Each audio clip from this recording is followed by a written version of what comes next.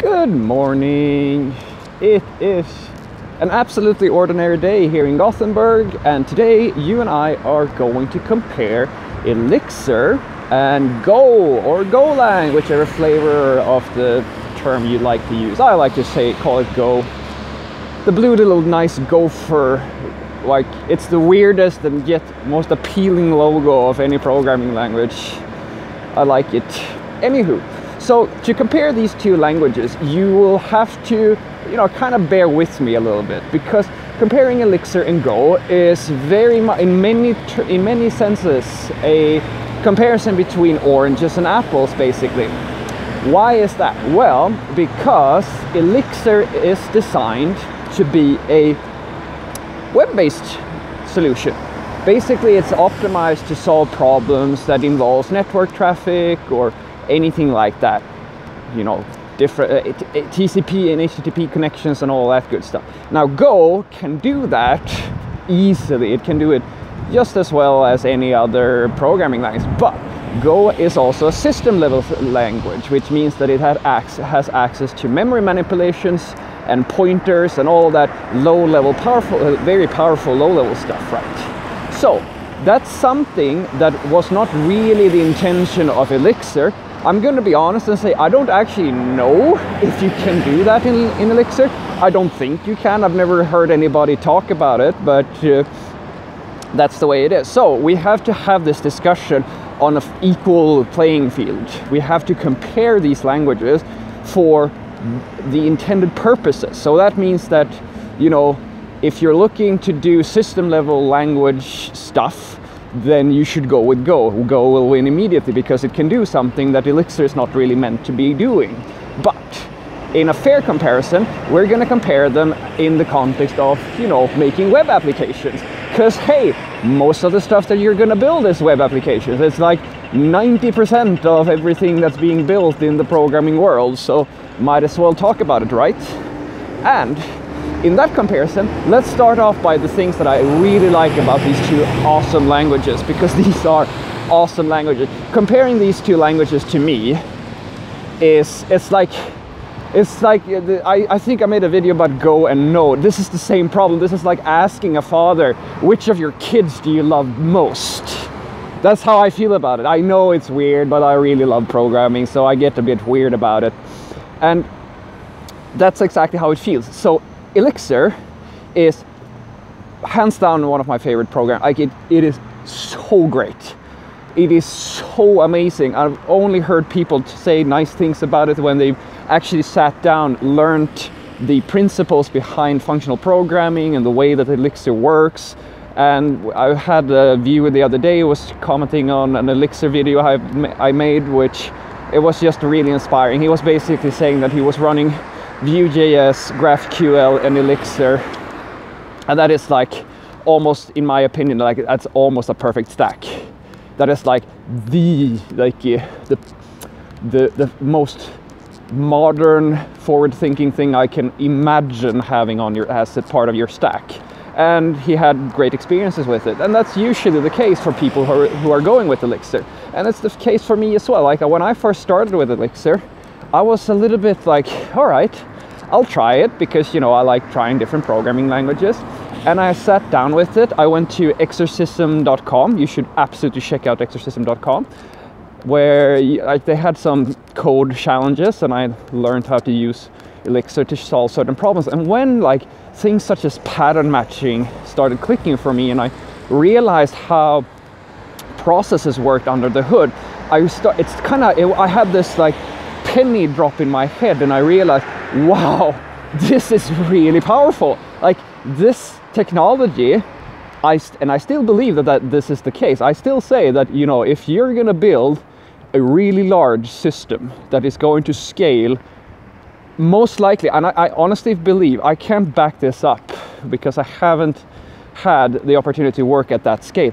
But my uh, all everything that I can see about this technology indicates that it might actually scale. I Elixir may actually scale better than what we are doing today with Docker and Kubernetes. I'm not going to promise that, but from everything I've read about it and everything I've all the people who've been I've been talking to, it seems to be the case because it combines this amazing monolithic structure.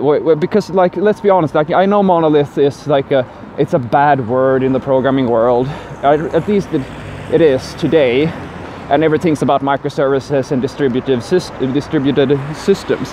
And i think yeah absolutely. I i'm not going to question the validity in the pro like there are problems with a monolithic application but elixir uh, or rather, but, but a monolithic application has more simplicity when it comes to deployment and maintenance and all of that stuff and then you know having microservices. You know when you have lo- a lot of different repos and so forth it gets you know you, you move complexity from a single code base to several code bases and that ha- that has its own problems. But elixir gives you it's like having your cake and eating it at the same time.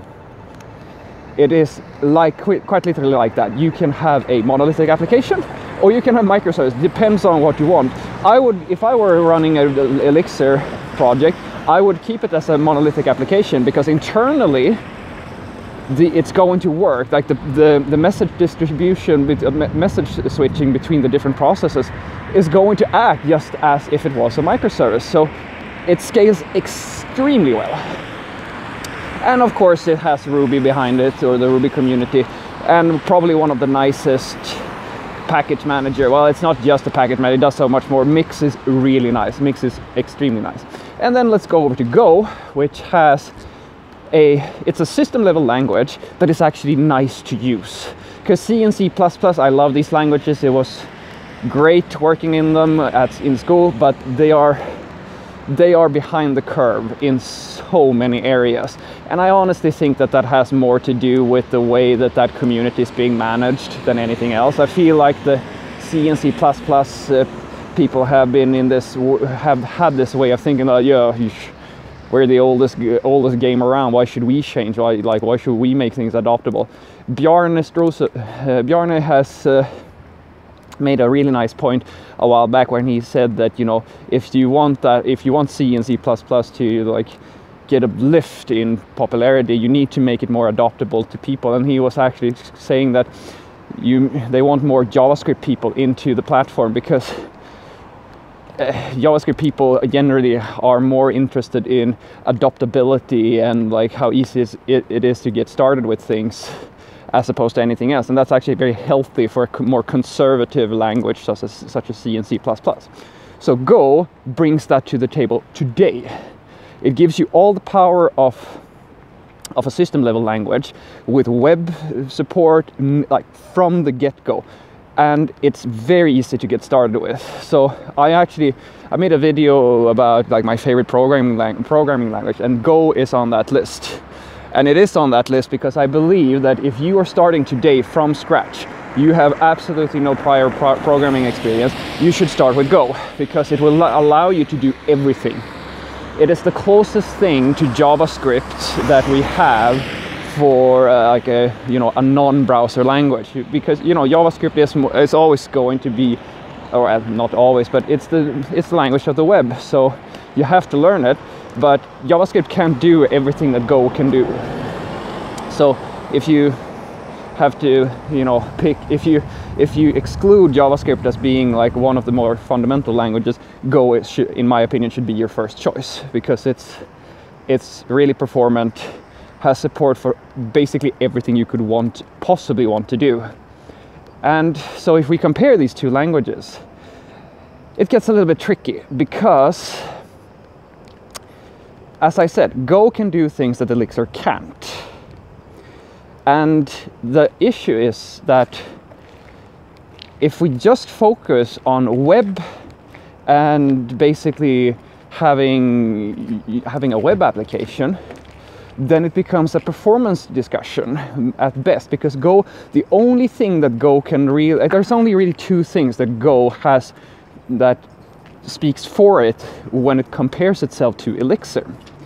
And that, in my opinion, is performance and ease uh, and uh, performance and ease of maintainability basically or like oh sorry no ease of maintainability. And what i mean about that is basically types. Go has types. Elixir does not have types. So it kind of depends. So elixir in my opinion is much better. Uh, it's going to be easier at scale in theory at least you're going to be able to go farther on a single monolithic application in Elixir, than you're going to be able to go in Go. And odds are that maintaining your system at scale is going to be easier. That's at least the promise of Elixir. It has Erlang and the type of robustness that has been proven for over 30 years. So I have I have a hard time believing that there's something more stable than, than Elixir on the market today. But Go has the performance uh, performance bit on speaking for it. Unfortunately, at scale, Go is going to require well.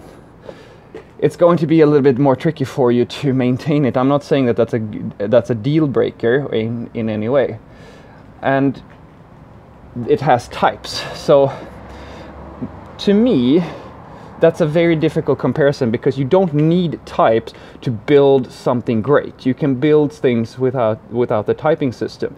And if I were to say that you should go with one thing over the other, and the scenarios I would describe, I would say this. If you are a seasoned programmer, you know your stuff, you've been doing this for a while, and you are supposed to build a high availability system, something that must always be running. It can never go down. Like a medical communication system, like anything that is gonna gonna have to have a really really solid uptime. Go with Elixir. Every single day of the week, go with Elixir. If you are building a smaller application, if you're just starting out, or if you're building your own web server or anything like that, start with Go. Definitely start with Go. Elixir to me has it is it's a beautiful language and it's a beautiful piece of technology. But you, I argue that the strongest use case for using Elixir is when you need it to be around forever. It's the same type of mentality I have for Java. Elixir gives you stability and maintainability over time, and that's the strongest argument for it. But unless that is your requirement, I think you should go with something a little bit more accessible and Go is a little bit more accessible than Elixir. Hopefully this was helpful to you.